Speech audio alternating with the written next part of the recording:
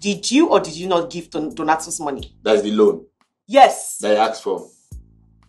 Why are you looking at me like that? Answer the question. Stop playing coy. Answer the question. Did you give Donatus money? You gave Let me- him money. Let me explain. I, I spoke out of. I, I- I spoke out. Wait, wait, wait. you spoke wait, what? Wait, So you gave. Where did you give him money? Wait now. Can I finish talking? Please. He was asking for a loan. I said, ah, no, I'm not going to give him a loan Eh, so you gave him the money.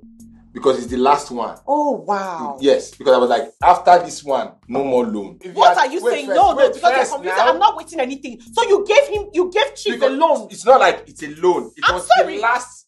Um, see, it was the last money in my account. How is it that you prioritize these people over me? I need money Chief, to complete the business that own gave me. Now you investment. giving Chief what investment? If you think you are getting that money back from Chief, I don't know if you are the will joker or if Chief is the see, The is that chief, well, he, he- he's trying to get a document. He's trying to get a His own document. is an, is an, your own is not an investment. Your own is a loan. Chief's own is an investment. Sorry, I said a loan. It was a mistake. Are you trying to piss me off? Look at you looking so pitiful. One would think, oh, let me even be nice. Shishi, Shingbang, one kobo you don't have. You go about begging people for money. When will you people leave Frank alone? When?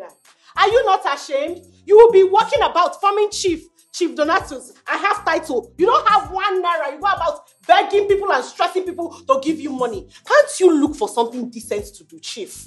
Eh? At least think about your life and even say, I need to stop stressing people. Let me even start making money. No, you go about stressing good people that work for their money. And you think I'm going to sit down and let you have peace. You will not have peace.